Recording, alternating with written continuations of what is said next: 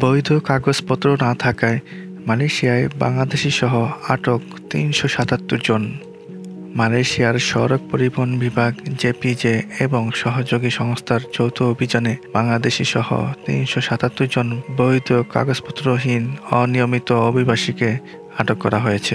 বৃহস্পতিবার ষোলোই নভেম্বর এক বিবৃতিতে কথা জানান দেশটির অভিবাসন বিভাগের মহাপরিচালক রুসলিন বিন জুসো। বিবৃতিতে তিনি বলেন, মালয়েশিয়ার সড়ক পরিবহন বিভাগের জেপিজের সাথে যৌথভাবে একই দিন ভোর পাঁচটার দিকে পুত্রাজায় সড়কের আশপাশে এ অভিযান পরিচালনা করা হয়। অভিবাসন বিভাগের মহাপরিচালক বলেন, জনসাধারণের অভিযোগের ভিত্তিতে দেশটির কাজাং এবং বাঙ্গির দিক থেকে পুত্রাজায় প্রবেশের প্রধান সড়কে। জেপিজি এবং ইমিগ্রেশন পুলিশের দুটি স্থানে চেক পয়েন্ট বসিয়ে বাসে তল্লাশি চালিয়ে তাদের আটক করা হয়। তাদের বেশিরভাগই স্থানীয় আলম, ফ্লোরা, বর্জ্য ব্যবস্থাপনা এবং পরিচ্ছন্ন কর্মীর কাজের বাস চোখে বের হওয়ার চেষ্টা করছিলেন। অভিযানে মোট ছয়শো জন অভিবাসীর কাগজপত্র যাচাই বাছাই করা তার মধ্যে তিনশো সাতাত্তর জনের কাছে বৈধ কাগজপত্র না থাকায় তাদের আটক করা হয়। আটকদের মধ্যে দুইশো পঞ্চাশ জন নারী ও একশো সাতাশ জন পুরুষ রয়েছে। এদের মধ্যে বাংলাদেশ, নেপাল, মিয়ানমার, ইন্দোনেশিয়া, পাকিস্তান, ভারত ও শ্রীলঙ্কার নাগরিক রয়েছে। তাদের সবার বয়স পঁচিশ থেকে পঞ্চান্ন বছরের মধ্যে। আটক অভিবাসীরা অভিবাসন বিভাগ আইনে উনিশ অনুষাট অব্লিক তেষট্টি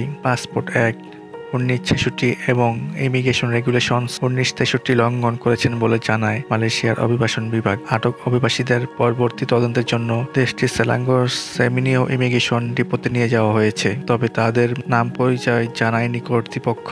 এদিকে দেশটিতে যদি কোনো নিয়োগকর্তা অনিয়মিত অভিবাসীদের কাজে নিয়োগ দেন, তাহলে তাদের ইমিগ্রেশন আইন উনিশ উনষাট অব্লিক তেষট্টি এর অধীনে গ্রেপ্তার করা হতে পারে, যেখানে দোষী সাব্যস্ত হলে সর্বোচ্চ পঞ্চাশ হাজার রিঙ্গিত জরিপানা বা অনাধিক বারো মাসের কারদণ্ড বা উভয় দণ্ড হতে পারে।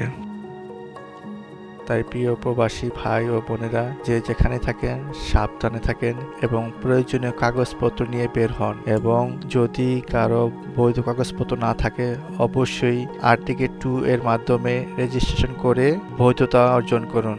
আর সেই রেজিস্ট্রেশনের সময় খেয়াল রাখবেন যেন আপনার যেই রকম চাহিদা বা যেই রকম কাজ দরকার, সেই কাজের সঠিক ব্যবস্থাপনা করে দিতে পারবে কিনা। এই জন্য যাচাই বাছাই করে রেজিস্ট্রেশন করুন। ধন্যবাদ সবাই ভালো থাকবেন। আল্লাহ হাফেজ।